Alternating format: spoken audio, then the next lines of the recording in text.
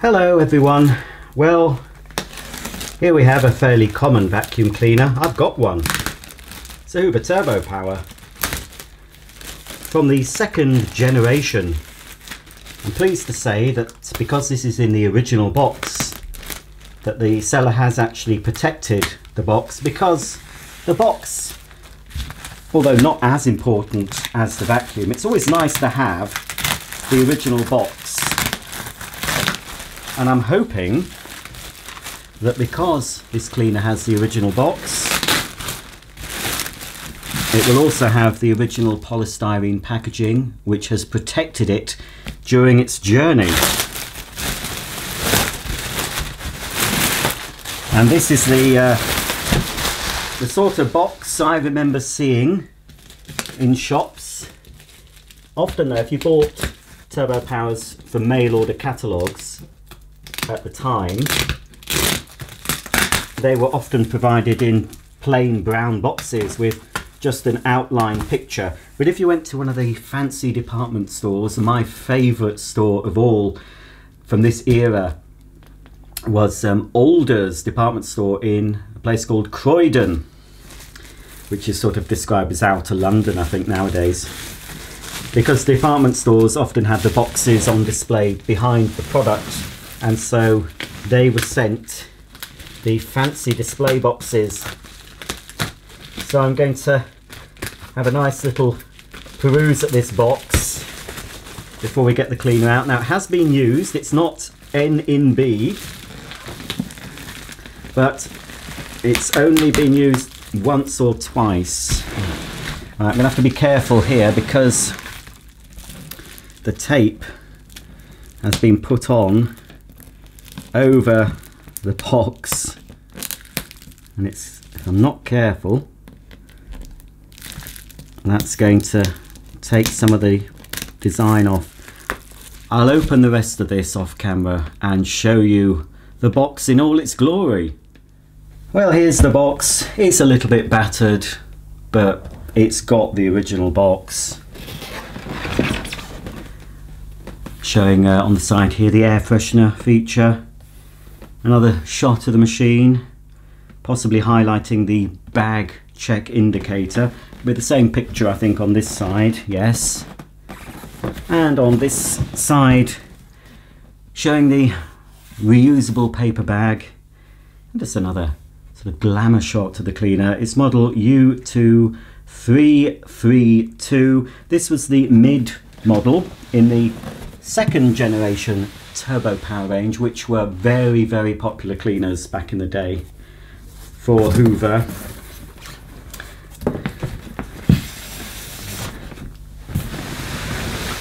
And as I said, this is the mid one. The lower model, which I do have, would have been the Turbo Junior. That was the black version with the pinstripe bag.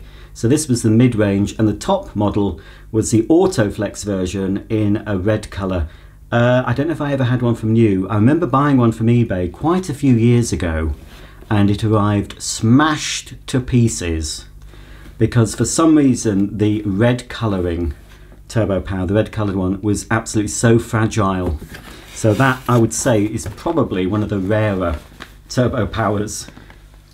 Here we've got one of the original H4 twin skinned bags I'm not going to use it with this bag. I'm going to put one of the new fleecy bags in. But this is uh, certainly an improvement when they introduced a twin skinned bag. Certainly an improvement on a single layer paper bag that they used to supply.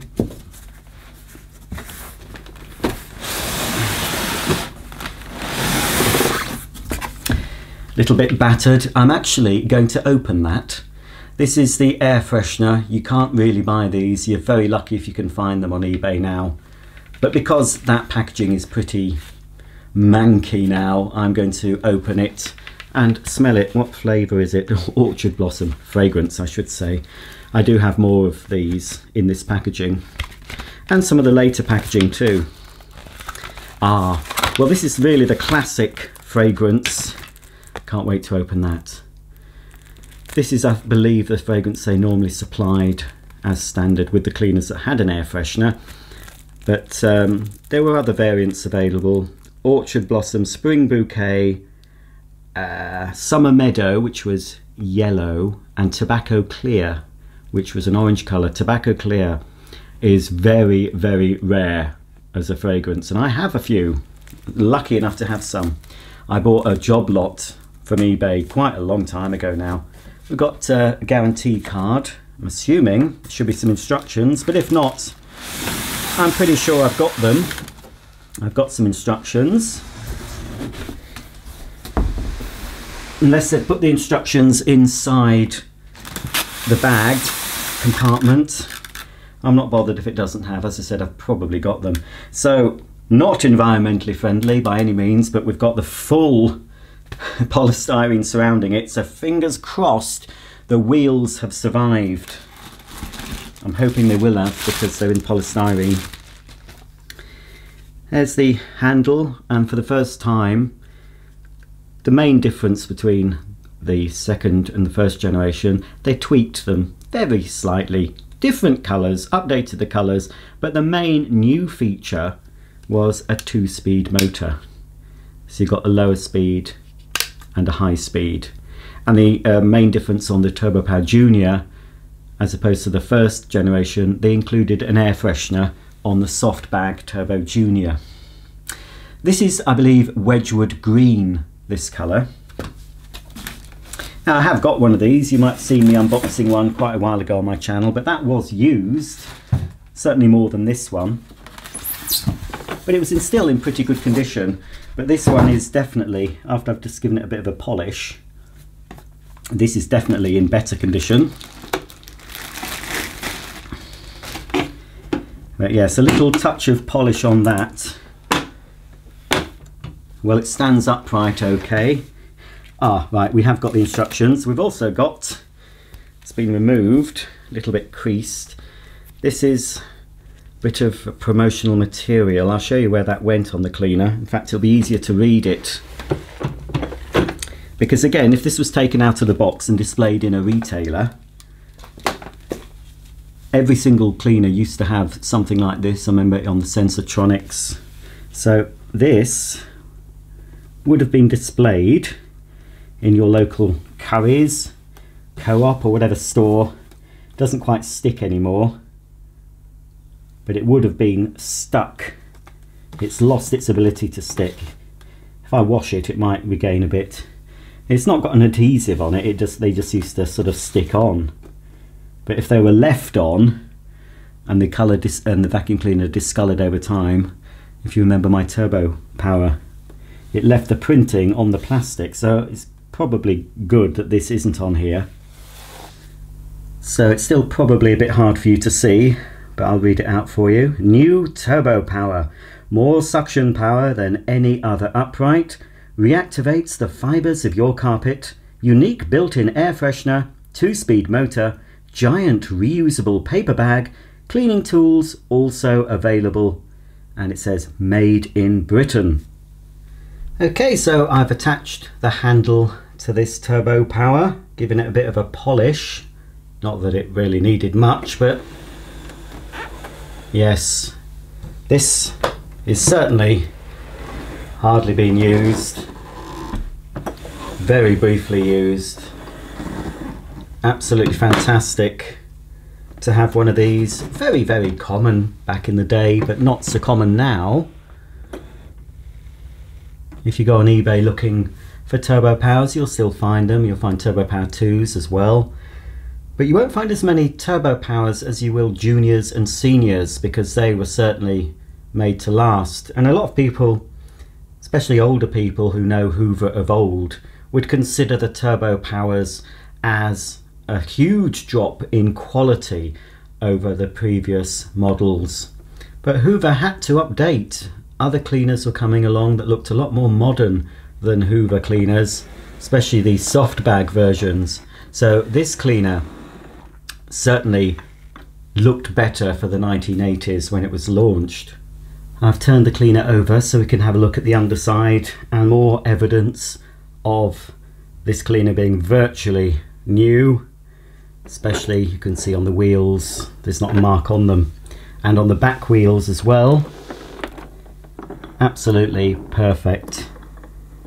This is hardly seen any any carpet whatsoever. And I've never seen actually a cream colour activator with these sort of grey taupey coloured brushes.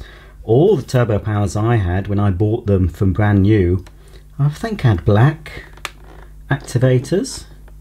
Now does that move? Well, that's very stiff.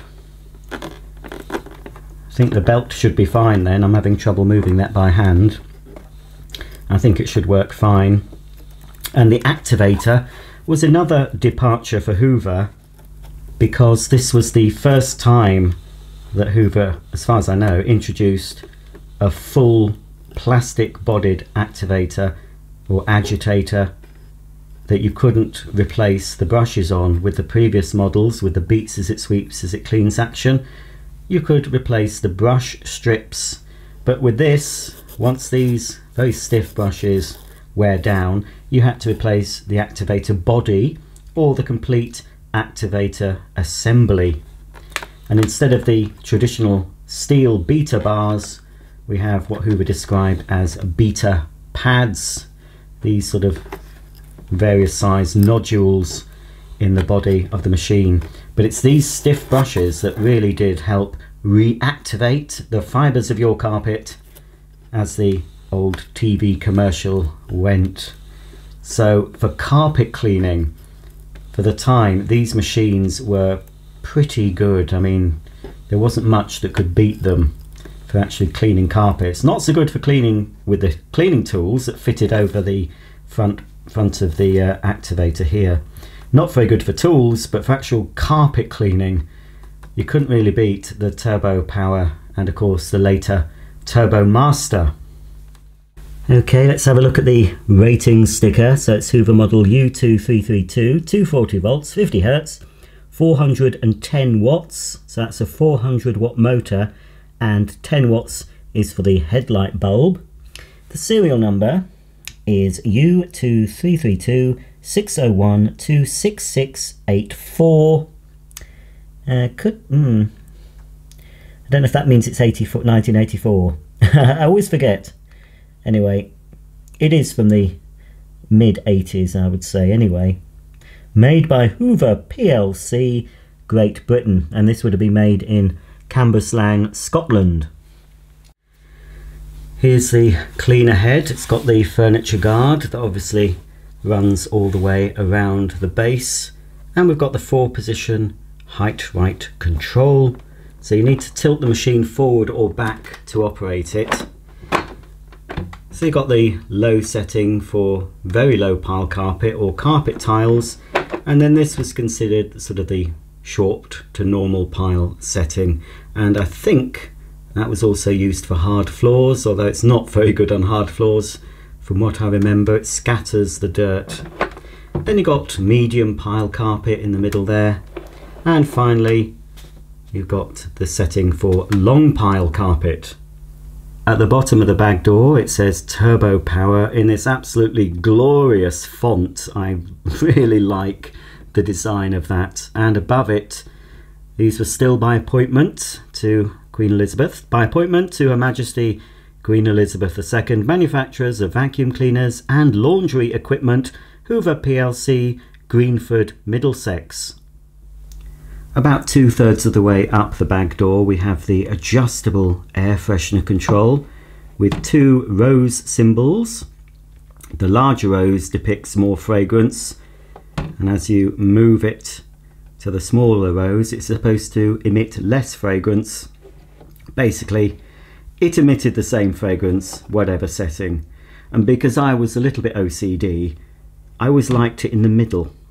I just like things symmetrical so when I was using these back in the day I just kept it in the central position and at the top of the bag door we've got the bag door release pad here with Hoover in a bold font and that lovely turbo power font repeated underneath and to access the dust bag you simply press down on the bag door and the dust bag door opens. While I've got the bag door open we can see here where the air freshener is fitted and I've got the Orchard Blossom air freshener here and I'm about to cut open this sealed packet and inhale the smell for me, the smell of the 1980s.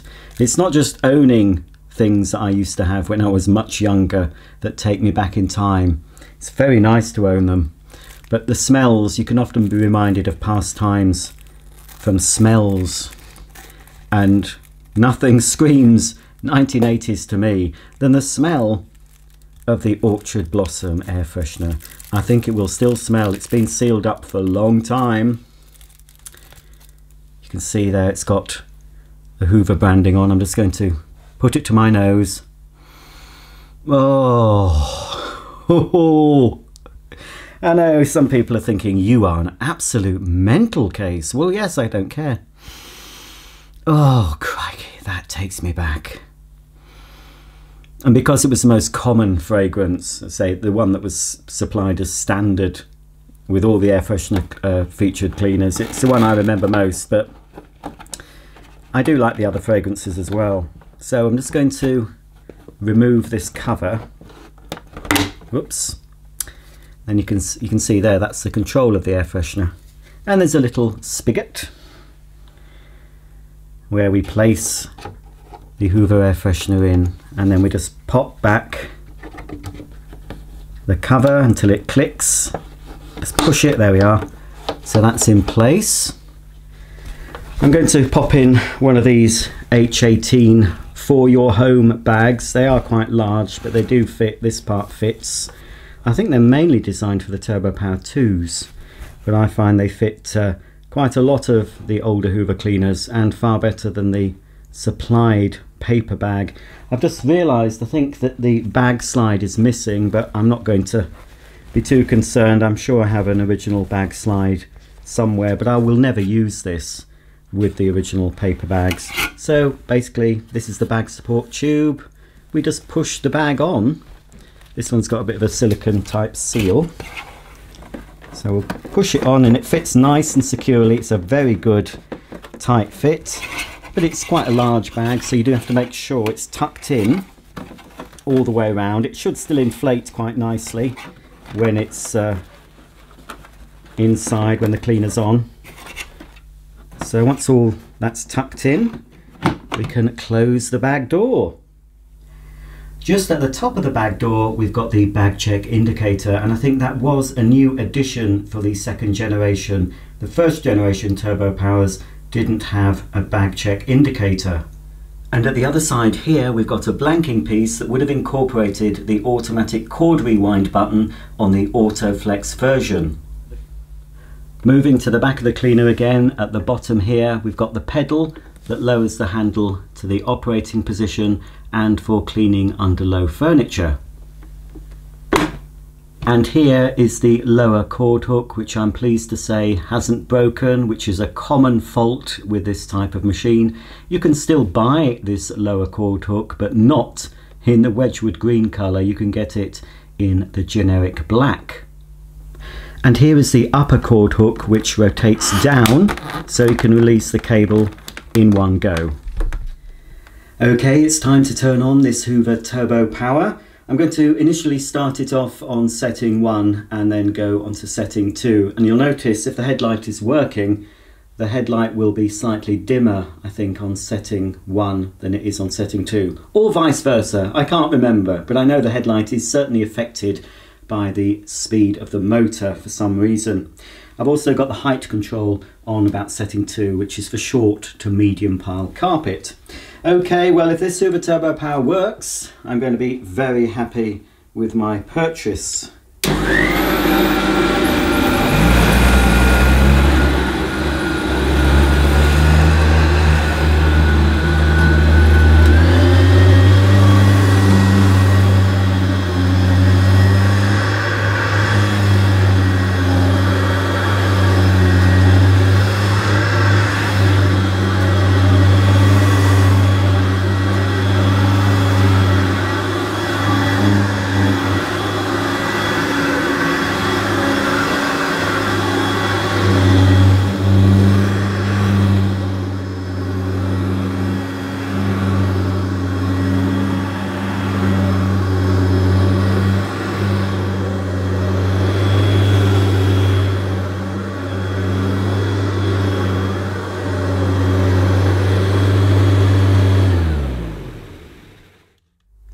Well, I've no complaints about this Hoover Turbo Power Cleaner. It cost a fair bit of money to buy, obviously. It's, it did attract quite a lot of bidders, but I was lucky enough to have the highest bid and I've won it and I'm very happy with it. Um, obviously, it has had slight use, but I expected that. But basically, it does look and feel and work as it would have done fresh from the box. So very pleased with it. It sounds like a traditional turbo power. You can hear the airflow through the machine. And even on this very short pile carpet, it was bringing the pile up. Now you're going to see this again because in a few weeks I'm actually finally getting a brand new living room carpet fitted which has a much denser pile than this carpet here and you will actually see track lines and the turbo power will be an ideal machine to use because you'll really see the grooming action of the Hoover activator. So um, I'll get this out again in a few weeks and we'll try it on my brand new living room carpet. So uh, that will be something to look forward to and it'll be interesting to see what vacuums work particularly well on this new carpet because as I said it's a much plusher denser pile than the carpet that was fitted when we first moved in. If you have any comments or questions about this what I would consider to be a classic 80s Hoover upright please comment below and I'll see you all very soon. Bye for now.